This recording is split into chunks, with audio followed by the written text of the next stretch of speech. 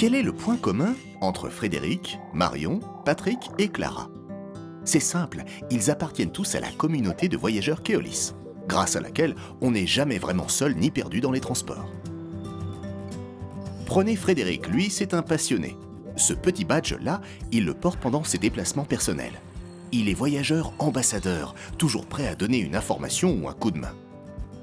Les autres passagers peuvent le repérer aussi sur leur application, voir son profil et le solliciter si besoin. Marion, en situation de handicap, sait qu'elle peut compter sur la communauté pour l'aider. L'ascenseur de la station est en maintenance Grâce à la géolocalisation, elle identifie tous les membres de la communauté autour d'elle. Elle décide de faire appel à un agent Keolis situé à moins de 300 mètres. Disponible, ce dernier lui vient rapidement en aide. Patrick, lui, adore sa ville. Sa spécialité, c'est de signaler ce qui peut être amélioré ou réparé.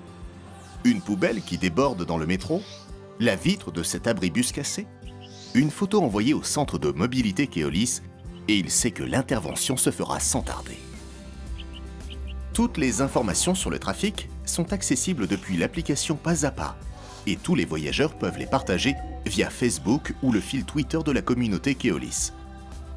Sur l'application, on peut aussi avoir accès à des infos plus légères, comme à l'histoire de ce chien qui a été vu ce matin en train de voyager seul dans un métro et sortir très digne à une station qu'il semblait connaître par cœur. Parmi ces informations, nombreuses sont celles qui émanent directement des voyageurs. Prenez Clara. Arrivée récemment dans la ville, elle en a si bien étudié les transports pour ses propres enfants qu'elle les connaît maintenant comme sa poche. Facile pour elle de donner des astuces mobilité pour les déplacements en poussette. Des données précieuses qui seront réutilisées par l'application lors des calculs d'itinéraire pour d'autres passagers avec poussette. Finalement, s'il est plus facile et plus agréable de circuler en ville aujourd'hui, c'est un peu parce que Frédéric, Marion, Patrick, Clara, les agents Keolis et bien d'autres échangent au quotidien sur le réseau.